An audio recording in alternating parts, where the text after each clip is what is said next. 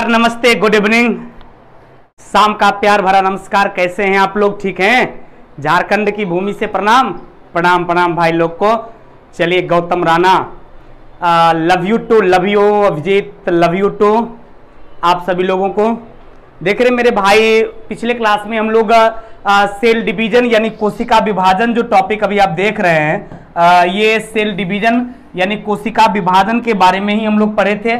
और कोशिका विभाजन के बारे में जो पिछले क्लास में हम लोग स्टडी किए थे, उसमें हम आपको असूत्री विभाजन के बारे में, समसूत्री विभाजन के बारे में और अर्धसूत्री विभाजन के बारे में, इस तीनों के बारे में हम काफ़ी डिटेल्स में पढ़ लिए थे। लास्ट में थोड़ा सा लगता बच गया था, वो था मियोसिस डिवीज़न यानी अर्धसूत्री विभाजन जो है उसको हम लोग दो भागों में बांटे थे। जैसा कि याद होगा तुमको चला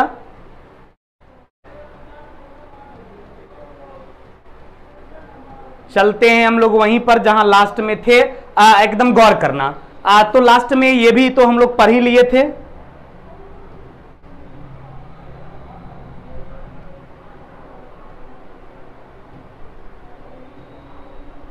हाँ याद होगा आ, कि जब हम लोग लास्ट क्लास कर रहे थे तो लास्ट में हम इस फिगर के बारे में आपको समझा दिए थे।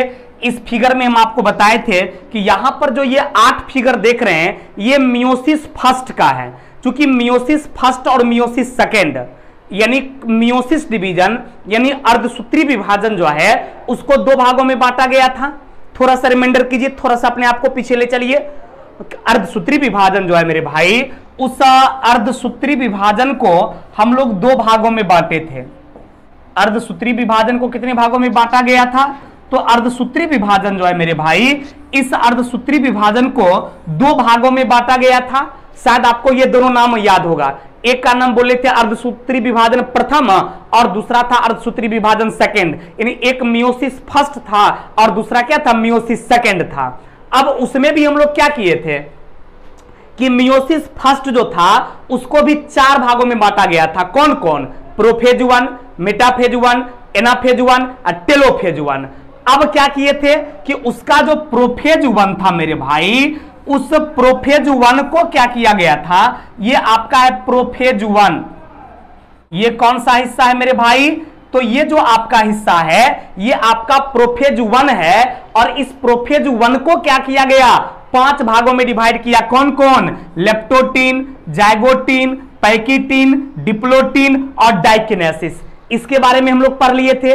इसके अलावे मेटाफेज वन के बारे में एनाफेज वन के बारे में टेलोफेज वन के बारे में और सबका क्या वर्क है, ये पिछले क्लास में हम लोग पढ़ लिए थे। अभी हम लोग पढ़ने जा रहे हैं मियोसिस सेकेंड के बारे में। अभी हम लोग किसके बारे में पढ़ेंगे? तो अभी हम लोग पढ़ेंगे मियोसिस सेकेंड के बारे में और मियोसिस सेकेंड जो है, इसको भी चार भागों में बांटा गया। मियोसिस फ़र्स्ट को भी चार भागों में बांटा गया। और आगे जो हम लोग इसके बाद पढ़ेंगे, मियोसिस सेकेंड के बारे में, उस मियोसिस सेकंड को भी क्या किया गया? चार भागों में बांटा गया। कौन कौन तो सबका नाम याद कीजिएगा। Prophase two. Prophase two. दूसरा मेटाफेज टू।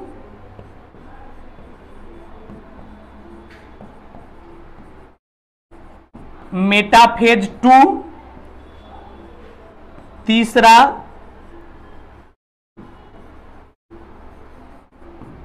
एनाफेज टू और चौथा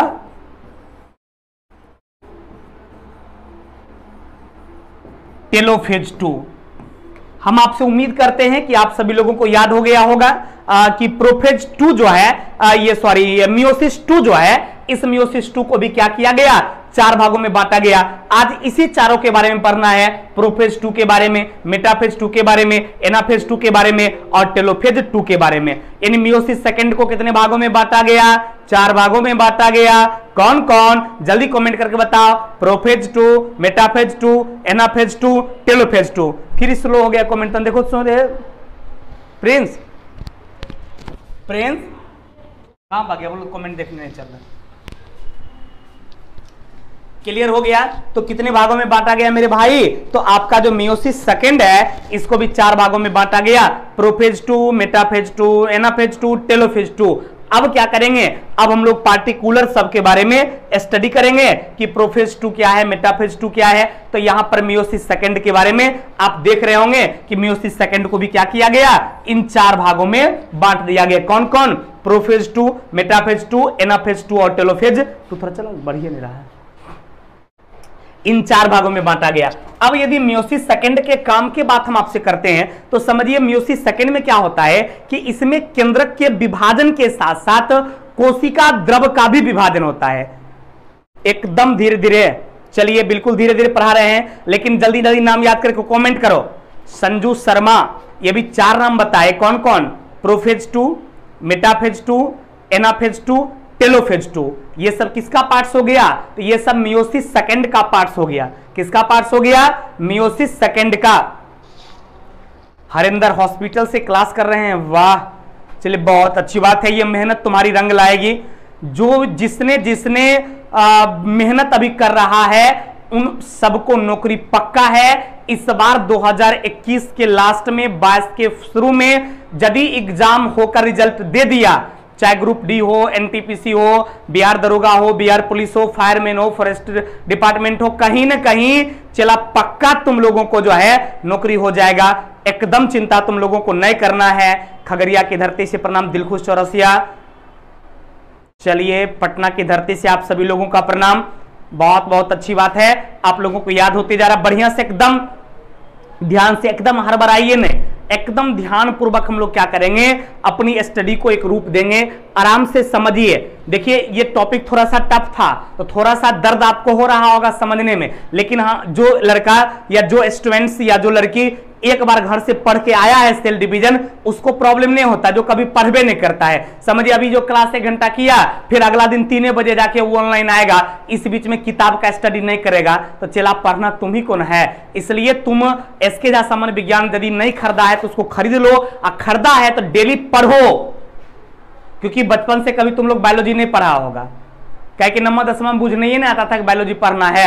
उसमें से मात्र दो परसेंट लड़का पढ़ा होगा नम्बर दसवा बायोलॉजी इंटर में कोई मैथ ले लिया, कोई कॉमर्स ले लिया, कोई आर्ट्स ले लिया, दो परसेंट एक परसेंट लड़का बायोलॉजी लेता है। तो जो दो परसेंट लेता है, उसको तो बायोलॉजी पढ़ने का आवश्यकता नहीं है। जो नाइन्टी परसेंट जब जीवन में कभी बायोलॉजी नहीं पढ़ा अब यो तुम नहीं पढ़ेगा तो फिर एग्ज़ाम में कैसे नौकरी होगा? क्योंकि किसी भी नॉन टेक एग्ज़ाम में थोड़ा पता है कि सबसे ज़्यादा साइंस में बायोलॉजी पूछता है। चाहे तुम एसएससी का एग्ज़ाम दो ग्रुप डी का एग्ज़ाम दो एनटीपीसी का एग्ज़ाम दो बायोलॉजी से ही मैक्सिमम सवाल रहते हैं। इसलिए मेरे भाई, मेरे दोस्त, एक बार घर से ज़रूर पढ़ के आया करो, ताकि तुमको समझने में कोई दिक्कत ना हो। क्लियर चलिए, बहुत लोगों को याद भी हो समझ में बहुत आ, कम आ रहा है। कुछ लोगों को कम इसलिए आ रहा है क्योंकि पढ़ के नहीं आते हैं और थोड़ा सा ये टॉपिक भी टफ है। फिर अगला टॉपिक से इस तरह की परेशानी नहीं होगा। फिर सिस्टम जब पढ़ाएँगे डाइजेस्टिव सिस्टम सर्कुलेटरी सिस्टम वो एकदम पट पट घुसता जाएगा। सेल भी आराम से घुस गया इंट्रोडक्शन भी घुस गया। इस सेल डिवीज़न थोड़ा सा टफ टॉपिक है। दर्द करवे करेगा। हाँ एकदम थोड़ा सा दर्द होगा। आ, लेकिन हाँ ये है कि आ, देखते हैं नेपाल के बॉर्डरों पर से लड़का पढ़ रहा है। सर, आप तो याद ही करवा देते हैं। वो करवा देते हैं, वो उस बच्चों के लिए है जो बच्चे थोड़ा पढ़ के आते हैं, जो साफे ने पढ़ता है चला तो बताओ हम की करें और के लिए? आप याद ही करवा देते हैं। वो तो ठीक है, वो तो हम समझ रहे हैं कि 98 परसेंट बच्चे को परेशानी नहीं है। एक दो परसेंट बच्चा जो साफे बायोलॉजी नहीं पढ़ा है कभी और ना पढ़ के आता है, या मेरे पढ़ाने के बाद घर पे जाके भी नहीं पढ़ता है, उसको परेशानी एक दो परसेंट को होगा। बाद बाकी को कहीं कोई दिक्कत नहीं है। फिर भी प्रयास करते हैं। हम देखते हैं एक ही चीज़ को पाँच बार, छह बार रिपीट करवाते हैं। दोहराते हैं, तिहराते इसलिए हैं कि थोड़ा याद हो जाए। तुम घर पे जाके भी एक बार पढ़ो। चलिए कि सब पटना शिफ्ट हो गए। अच्छी बात है। बढ़िया किए, पटना आगे बढ़िया से पढ़िए। चलिए। आप याद करवा देते हैं। चलिए, बिल्कुल याद करवा देते हैं। चलिए, मेरा प्रयास रहता है कि सभी बच्चों को याद हो जाए, एक भी बच्चा ऐसा नहीं बचे जिसको नहीं याद हो। तो आप लोग भी थोड़ा प्रयास करना पड़ेगा कि याद हम कर लें तो 100 परसेंट याद हो जाएगा। ये चारों नाम में तो कहीं कोई दिक्कत नहीं है। ये चारों नाम सबको याद हो गया होगा। Prophase two metaphase two anaphase two telophase two ये तो लगता है सबको याद हो गया होगा। अब बचा बात कि सर मियोसिस सेकंड डिवीज़न में है, ये मियोसिस सेकंड होता क्या है? तो बतेबे किए कि इसमें केंद्रक के विभाजन के साथ साथ केंद्रक के अंदर जो द्रव भरा रहता है, या कोशिका के अंदर जो द्रव भरा रहता है, जिसको आप कोशिका द्रव कहते हैं, उस कोशिका द्रव का भी क्या होता है? विभाजन होता है। यानी इसमें केंद्रक के विभाजन के साथ साथ इसमें कोशिका द्रव का भी विभाजन होता है। क्योंकि इसमें एग्ज़ाम में क्वेश्चन पूछा जाता है कि मियोसिस सेकंड क्या है? तो मियोसिस सेकंड जो है, कोशिका विभाजन का यह एक प्रकार है जिसमें क्या होता है, केंद्रक विभाजन के साथ साथ कोशिका द्रव का भी विभाजन होता है। और इस प्रकार क्या होता है, उस कोशिका द्रव विभाजन के फलस्वरूप दो पुत्री कोशिका का भी निर्माण होता है। यानी मियोसिस सेकंड में भी दो पुत्री कोशिका का निर्माण होता है। इसमें भी केंद्रक का विभाजन होता है, इसमें भी कोशिका द्रव का विभाजन होता है। अर्थात कोशिका में पुनः विभाजन शुरू हो जाता है। इस विभाजन को मियोसिस सेकंड कहते हैं। अब इसमें चार गो पार्ट्स है इसका prophase two metaphase two anaphase two और टेलोफेज टू अब आपको बारी बारी से जानना है कि सर ये प्रोफेज टू होता क्या है या इसका काम क्या है? तो एकदम ध्यान से समझिएगा प्रोफेज टू जो है, ये कोशिका विभाजन में जो अर्धसूत्री विभाजन है यह अर्धसूत्री विभाजन का पहला फ़ेज़ है। क्योंकि अर्धसूत्री विभाजन को चार भागों में बांटा गया था, prophase two, metaphase two, anaphase two, telophase two, उसका एक प्रारंभिक अवस्था है, प्रारंभिक फ़ेज़ है प्रोफेज टू। इसमें दो चीज़ होता है। पहला चीज़ क्या? कि इसमें केंद्रक झिल्ली और केंद्रिका गायब हो जाता है। क्योंकि एग्ज़ाम में सवाल आपसे पूछेगा कि अर्धसूत्री विभाजन के किस अवस्था में केंद्रक झिल्ली और केंद्रिका गायब हो जाएगा। तो आंसर आप क्या बोलिएगा? प्रोफेज टू में केंद्रक झिल्ली और केंद्रिका, ये दोनों क्या हो जाती है? गायब हो जाती है। केंद्रक झिल्ली और केंद्रिका खत्म हो जाती है। इतना ही नहीं, इसमें क्रोमेटिड की जो धागा है, वो सिकुड़ कर छोटा हो जाता है और मोटे होने लगता है। इसके अलावे इसमें जो स्पाइडल फाइबर है तुर्क धागा है, उस तुर्क धागे का निर्माण भी क्या हो जाता है? स्टार्ट हो जाता है। तुर्क धागे का निर्माण भी क्या हो जाता है? शुरू हो जाता है। तो इसमें तीन काम बताए। कौन कौन? पहला काम था केंद्रक झिल्ली और केंद्रिका गायब हो जाना। दूसरा काम काम था क्रोमेटिन की जाल सिकुड़कर मोटा और छोटा हो जाना। तीसरा काम था कि इसमें तुर्क धागे निर्माण की प्रक्रिया शुरू हो जाती है और इसमें सेंट्रिवल दोनों ध्रुव की ओर चला जाता है मनोज जी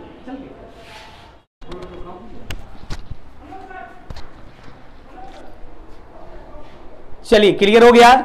क्वेश्चन कब सही करवाइएगा? गुरुजी, हमको भी आशीर्वाद दीजिए कि इस बार हो जाए। सभी लोगों को मेरा आशीर्वाद है। एकदम हो जाएगा?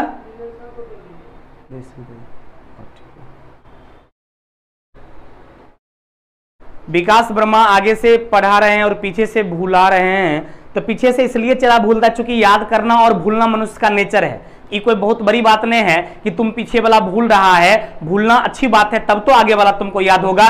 और यदि मान लिया यदि पीछे वाला भूला रहा है तो वो अधिक दिन तक ऐसे याद रहेगा, एग्ज़ाम तक कैसे याद रहेगा। इसके लिए यही तो बोलते हैं, किताब का रिविजन करो मेरे बाबू, मेरे सोना, मेरे सुग्गा, कि पीछे जो हम पढ़ा देते हैं उसका रिवीजन किया करो, आगे भी पढ़ा करो, फिर पीछे वाला रिवीजन किया करो, तब तो याद रहेगा। इसके अलावा क्वेश्चन डिस्कशन भी किया करो। और कल, आज ये टॉपिक तुम्हारा सेल डिवीज़न खत्म हो रहा है। कल जो तुम्हारा क्लास होगा, कल इंट्रोडक्शन टॉपिक का क्वेश्चन डिस्कशन होगा। क्लियर तो कल आप लोग जो बिल्कुल क्लास लाइव नहीं कर पाते हैं, उस समय ये बहुत बड़ी गलती करते हैं। कल से वो आओ और पहला टॉपिक जो इंट्रोडक्शन पर आए थे, कल भी उसका क्वेश्चन डिस्कशन होगा, परसों भी होगा, तरसों भी होगा, यानी अब उसका वो क्वेश्चन डिस्कशन का क्लास चलेगा। समझ गए? अब तीनों टॉपिक का पहले हम क्वेश्चन डिस्कशन आपका करवा देंगे उसके बाद फिर हम लोग आगे बढ़ेंगे। इसलिए एकदम टेंशन नहीं लेना मेरे भाई। आ, कल क्वेश्चन डिस्कशन पहला टॉपिक का कर लो फिर शनिवार को सेल डिवीज़न का हो जाएगा और आ, ये सेल का हो जाएगा रविवार को सेल डिवीज़न का हो जाएगा। यानी अभी तक जो भी हम आपको पढ़ाए सारा का क्वेश्चन डिस्कशन कल से स्टार्ट हो जाएगा। इसलिए एकदम आप आ, जितना थ्योरी पढ़ाए उसका बढ़िया से रिवीजन कर लीजिए और क्वेश्चन डिस्कशन के वक्त क्वेश्चन डिस्कशन में आ जाइएगा। क्लियर चलिए। तो ये क्लियर हो गया कि इसमें तुर्क धागे का निर्माण भी शुरू हो जाता है और एक एक सेंट्रीवाल दोनों ध्रुवों की ओर क्या करता है? चला जाता है। ये किसका काम हो गया? तो ये वर्क हो गया प्रोफेज टू का। क्लियर अब देखो, अगला तुम्हारा क्या है? मेटाफेज टू है। कहेगा सर मेटाफेज टू में क्या हो जाता है? मेटाफेज टू जो है इसमें स्पाइडल फाइबर की निर्माण की प्रक्रिया पूर्ण हो जाती है। प्रोफेज टू में क्या हुआ था? स्पाइडल फाइबर का निर्माण स्टार्ट हुआ था। गौर करो। वहाँ पर क्या हुआ था? स्पाइडल फाइबर जो है, उसका निर्माण की प्रक्रिया शुरू हुआ था। अब मेटाफेज टू में क्या हो गया कि स्पाइडल फाइबर के निर्माण की प्रक्रिया पूर्ण हो गया और इसमें क्रोमोजोम जो है, वो सेंट्रोमेयर द्वारा स्पाइडल फाइबर के बीच में जाकर क्या हो जाता है? जुड़ जाता है। यहाँ पर दो काम हो गया। कौन कौन एक तुर्क धागे का निर्माण प्रक्रिया पूर्ण हो गया और दूसरा काम क्या हो गया? क्रोमोजोम जो है, वो सेंट्रोमेयर के द्वारा स्पाइडल फाइबर के बीच में जाकर जुड़ जाता है। वो स्पाइडल फाइबर के बीच में जाकर क्या हो गया? जुड़ गया। कौन? Metaphase two. तो प्रोफेज टू का भी काम समझ गया, मेटाफेज टू का भी काम समझ। क्लियर? चलिए गणेश कुमार। झा सर के पड़ोसी है बहुत अच्छी बात है। Om love you too. और आपका तबीयत ठीक है सर? हाँ ठीक है। आ, तुम लोगों की दुआएँ मेरे साथ है मेरा तबीयत एकदम ठीक है। तब तो इतनी बार हम बोल रहे हैं दोहरा रहे हैं समझा रहे हैं तुमको याद करवा रहे हैं कि तुम लोग बढ़िया से दुआ करो उसकी जल्दी तबीयत मेरा ठीक हो जाए। क्लियर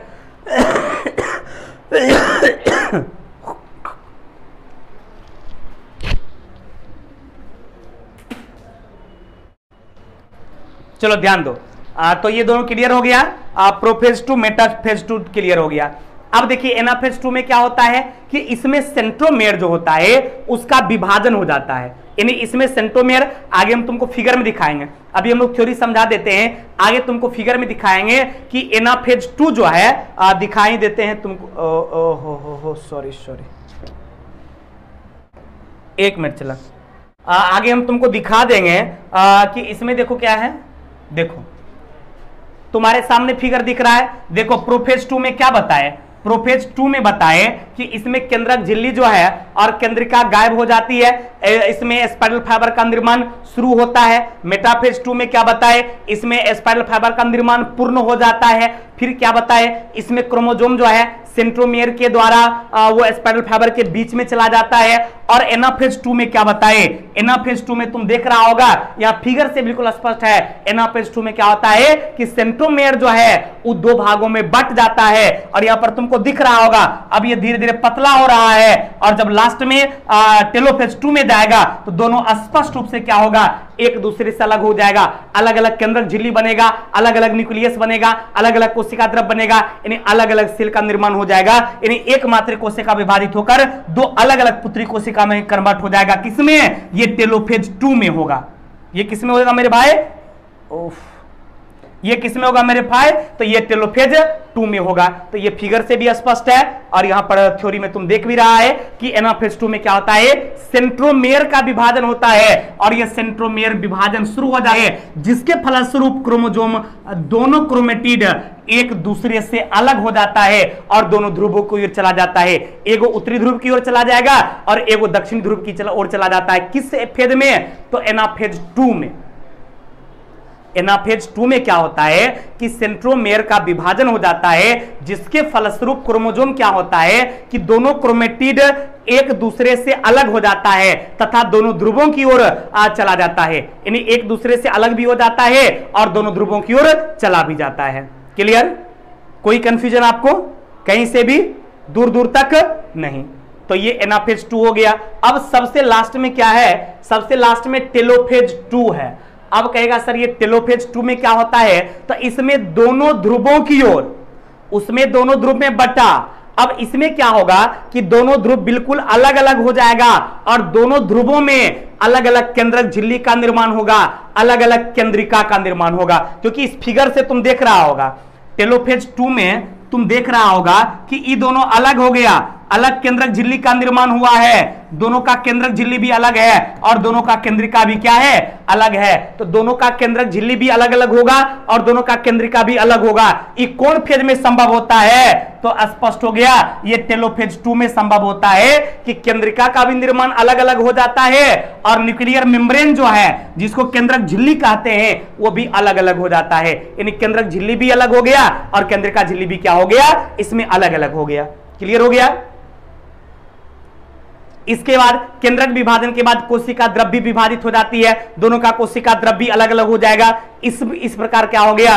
एक मातृ कोशिका में चार पुत्री कोशिका का निर्माण हो गया और गुणसूत्रों की संख्या, मातृ कोशिका में उपस्थित क्रोमोजोम की संख्या का क्या होता है? आधा हो जाता है। यहाँ पर तुम देख रहा होगा, एक, दो, तीन और चार, इस तरह से चार पुत्री कोशिका का निर्माण किसमें हो गया? आपका टेलोफेज टू में हो गया कि एक मातृ कोशिका विभाजित होकर चार पुत्री कोशिका का निर्माण कर दिया। इस चंद शब्दों के साथ आपका ये टॉपिक जो है, ये खत्म हो गया। यानी अभी जो हम लोग टॉपिक पढ़ रहे थे कोशिका विभाजन। ये कोशिका विभाजन चैप्टर खत्म हो जाता है। अब पीछे से थोड़ा हम प्रयास करते हैं, इसका रिविजन करवा दें। क्लियर चलिए, बहुत अच्छी बात है।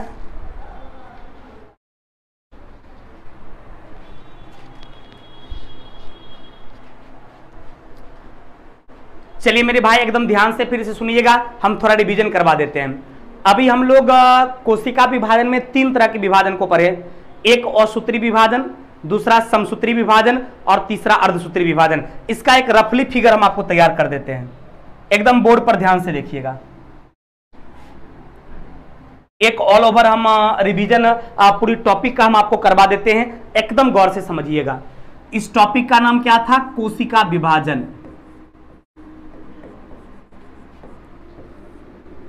कोशिका विभाजन। क्लियर हो गया? इस टॉपिक का नाम मेरे भाई क्या था? तो इस टॉपिक का नाम था कोशिका विभाजन। एकदम आराम से देखिए। अब देखिए, इस कोशिका विभाजन को क्या किया गया? एक मिनट।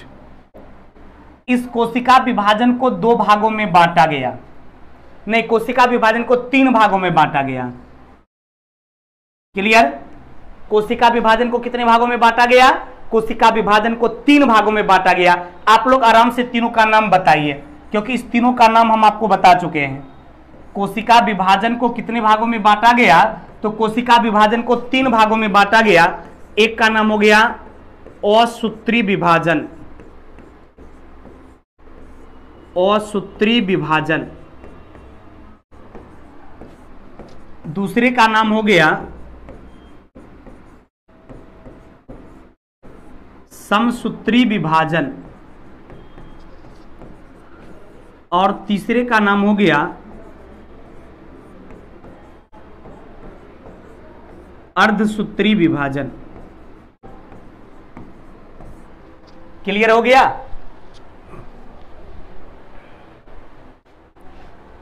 सेल डिवीज़न तीनों प्रकार का याद हो गया। एकदम सबका हम पूरा एक बार रफली रिवीजन करवा देते हैं। चलिए, सभी लोगों को याद हो गया कि सेल डिवीज़न को हम लोग तीन भागों में बांटे थे और सूत्री विभाजन, समसूत्री विभाजन, अर्धसूत्री विभाजन। क्लियर अब हम लोग क्या किए थे? चलिए, तीनों का नाम याद हो गया। अब देखो मेरे भाई, ये जो समसूत्री विभाजन था, इस समसूत्री विभाजन को दो भागों में बांटा गया था। कौन कौन तो एक था कैरियोकिनोसिस, और दूसरा का नाम था साइटोकिनोसिस। क्लियर? समसूत्री विभाजन को कितने भागों में बांटा गया? तो समसूत्री विभाजन को दो भागों में बांटा गया। कौन कौन तो एक हो गया कैरियोकिनोसिस और दूसरा हो गया साइटोकिनोसिस। अब देखिए क्या हुआ कि आपका जो ये कैरियोकिनोसिस है मेरे भाई, ध्यान से देखिएगा। समसूत्री विभाजन को कितने भागों में बांटे? दो भागों में। एक कैरियोकिनेसिस और दूसरा क्या हो गया? साइटोकिनोसिस। अब देखो क्या हुआ कि ये जो आपका कैरियोकिनोसिस था, इसको पाँच भागों में बांटा गया। कौन कौन तो एक हो गया इंटरफेज।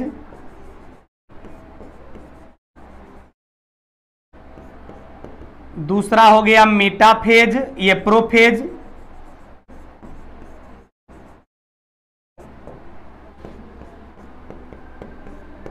तीसरा हो गया मेटाफेज।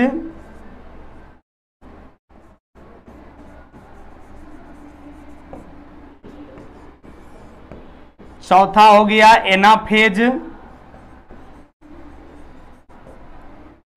पांचवा हो गया टेलोफेज। क्लियर हो गया? कितने भागों में बांटा गया? कैरियोकिनेसिस, साइटोकिनेसिस क्लियर हो गया। अब आपने देखा कैरियोकिनेसिस को इन पाँच भागों में डिवाइड किया गया। कोई कंफ्यूजन आपको नहीं। साइटोकिनेसिस का कोई डिवीज़न नहीं था। उसके बाद क्या हुआ? आपका जो ये था ये अर्धसूत्री विभाजन, इस अर्धसूत्री विभाजन को क्या किया गया? इस अर्धसूत्री विभाजन को दो भागों में बांटा गया। कितने भागों में? अर्धसूत्री विभाजन को दो भागों में बांटा गया। एक हो गया आपका मियोसिस फ़र्स्ट और दूसरा क्या हो गया? दूसरा हो गया आपका मियोसिस सेकेंड। यानी मियोसिस डिवीज़न जो है, अर्धसूत्री विभाजन को कितने भागों में बांटा गया? दो भागों में। एक मियोसिस फ़र्स्ट और दूसरा क्या हो गया? मियोसिस सेकेंड हो गया। अब देखो अरे मेरे भाई, अब क्या किया गया? ये जो आपका मियोसिस फ़र्स्ट है, इसको भी चार भागों में बांटा गया। और मियोसिस सेकेंड जो है इसको भी चार भागों में बांटा गया। यानी इसका भी चार भाग हो गया और मियोसिस फ़र्स्ट जो है, उसका भी चार भाग हो गया। कौन कौन? तो नाम याद रखिएगा। एक हो गया प्रोफेज टू ये one prophase one metaphase one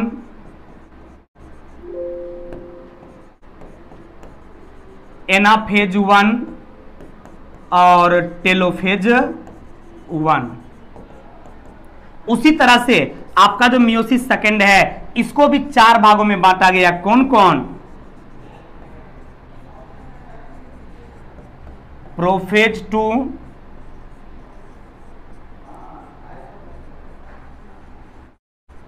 metaphase two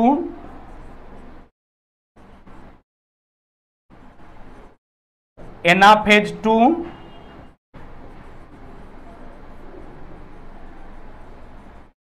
telophase two. कितने भागों में बांटा गया? तो फिर ये चार भागों में, चार भागों में। चलिए। पीछे वाला वीडियो नहीं चल रहा है, चलना तो चाहिए मेरे भाई। चलिए तो अभी आपने क्या देखा कि हम पूरे इस टॉपिक का एक शॉर्ट रिवीजन हम आपको करा दिए और वो आपके सामने है। एक बार फिर हम आपको सब दिखा देते हैं। देखो रे मेरे भाई, सब लोगों को दिख रहा है एकदम आराम से फिर से एक बार हम दिखा देते देख लो। ये जो कोशिका विभाजन हम लोग पढ़ रहे थे, इस कोशिका विभाजन को क्या किया गया? सबसे पहले तीन भागों में बांटा गया। असूत्री विभाजन, समसूत्री विभाजन, अर्धसूत्री विभाजन। फिर समसूत्री विभाजन को दो भागों में बांटा गया। Karyokinesis, cytokinesis. फिर कैरियोकिनेसिस को पाँच भागों में बांटा गया। कौन कौन interphase prophase, metaphase, anaphase, telophase, फिर क्या किया गया? कैरियोकिनेसिस को नहीं बांटा गया।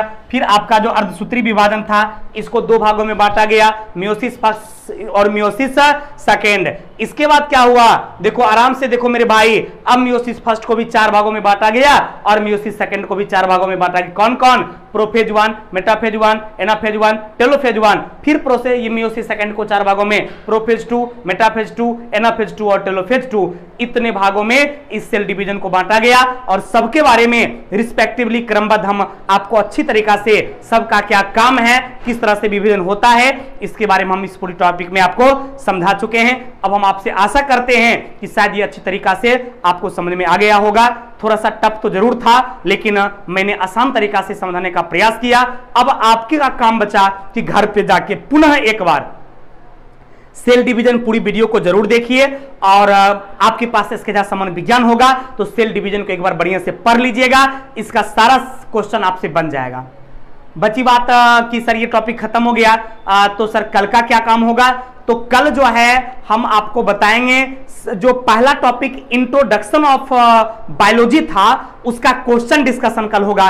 इसलिए आप सभी लोग जो क्वेश्चन डिस्कशन कर लिए किसी बैच में, वो भी, आज जो नहीं किए, वो भी, कल आप सभी लोग लाइव आइएगा और इसका क्वेश्चन करा दीजिएगा, बिल्कुल।